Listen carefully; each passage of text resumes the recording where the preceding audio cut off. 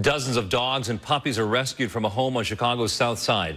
Chicago Animal Care and Control says they received a call from a resident in the area concerned about the number of dogs, and that is when 51 dogs were found on that property. Animal Care and Control teaming up with seven different rescue agencies, taking 48 dogs from that home. They all look to be in really uh, good shape. Um, they're all well fed, and I know the owner was doing her best uh, to make sure that they were um, being cared for, the, the family. Um, they all appear to be in good shape, so um, you know, no, you know, we'd have to have veterinarians look at all of them, but no immediate signs of distress. Animal Care and Control will decide when the dogs will be available for adoption. Hey, if you like that video, be sure to subscribe to our ABC7 Chicago YouTube channel.